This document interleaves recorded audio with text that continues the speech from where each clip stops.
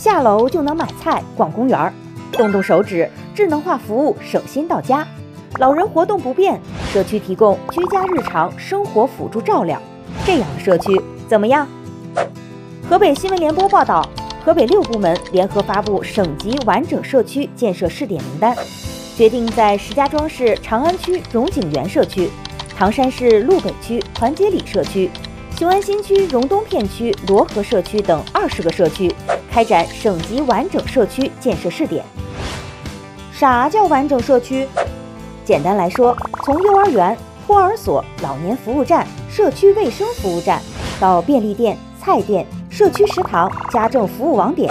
从公共活动场地、健身休闲运动场所，到家政保洁、养老托育等到家服务内容，这些居民日常生活所需的服务设施场所，您走着就能到。一个词形容，那就是方便。其实。在去年的七月份，中央七部门公布的完整社区建设试点名单中，咱河北就有三个社区入选，石家庄市桥西区地景社区就是其中之一。地景社区位于东里村，住在地景社区的孟阿姨说，以前东里村一到下雨天，真是连路都没法走。现在呢，旧貌换新颜，不仅居住环境提升了，生活的便利程度啊，也让很多人羡慕呢。咱就说去海悦天地 shopping、东里便民市场买菜、河北艺术中心看大戏，也就两步路的事儿。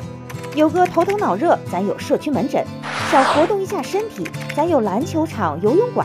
想安静的看看书，咱有图书室。主打一个，您有需求，社区就有服务。二零二三年，地景社区通过了市级一刻钟便民生活圈试点社区验收，又成功申报了国家级完整社区建设试点。建设完整社区，希望这些试点呀好好干，给咱幸福生活打个样。